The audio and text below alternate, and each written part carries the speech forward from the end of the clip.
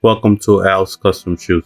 Today I will be customizing new shoes based on the animated film Frankenweenie, directed by Tim Burton. Enjoy.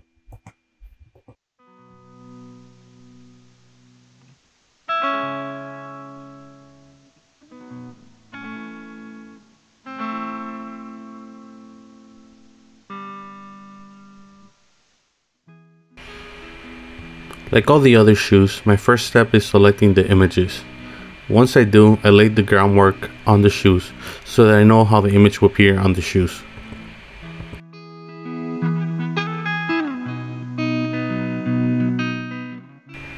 Making the image fit into the shoes can be tricky, so I first get tracing paper and then I decide to cut it into the shape of the shoes.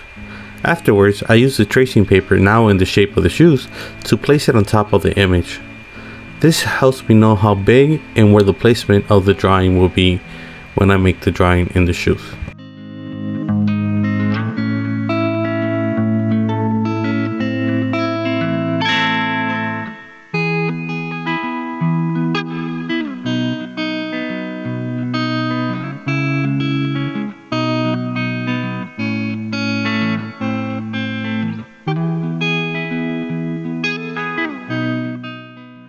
When everything is settled, I begin to paint the shoes. My first step is to cover the background before I begin to do any work or details on the drawings.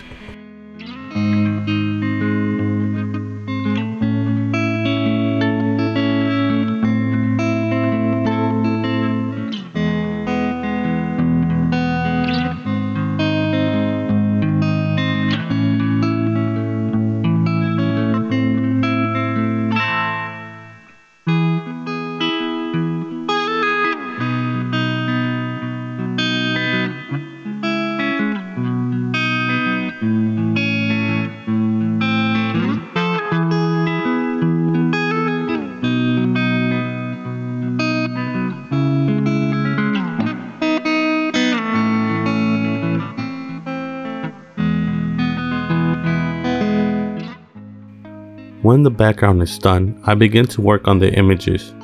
What's not shown in the video is that I keep my laptop next to me with the images. This helps me know how the painting should look like and I can use it as an advice to see how the color should be.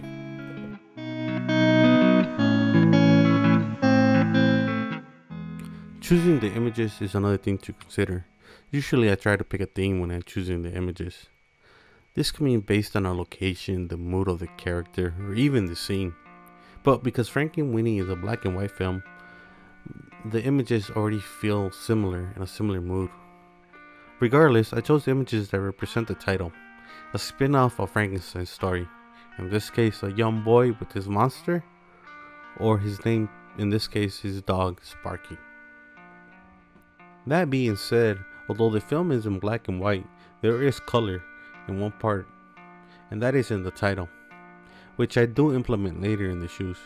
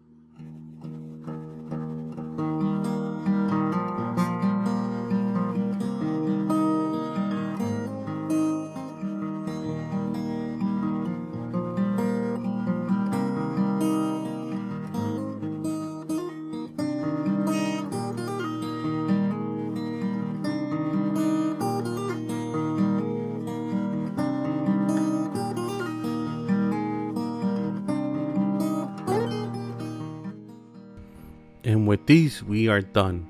We have officially done four animated custom shoes based on Tim Burton films. Please let me know which are your favorite. What would you like to see next?